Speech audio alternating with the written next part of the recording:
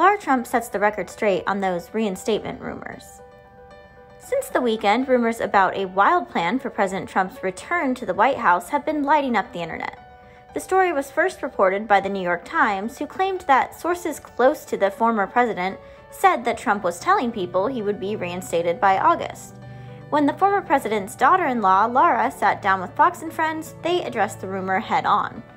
Host Brian Kilmeade asked, What about the story that President Trump is thinking that he is going to be placed into office in August? Is that true? Has he mentioned that to you? Because I think 24 hours a day, other networks are running with that story. Lara didn't hold back. She told Fox, Well, I think you should take a look at who those networks are and who is pushing that story out an obvious critique of the New York Times, MSNBC, and CNN, who have been obsessively reporting the claim as fact.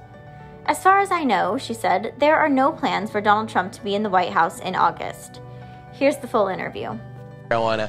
What about this story that President Trump is, is thinking that he's going to be placed into office in August? Is that true? Has he mentioned that to you? Because I think 24 hours a day, other networks are running with that story.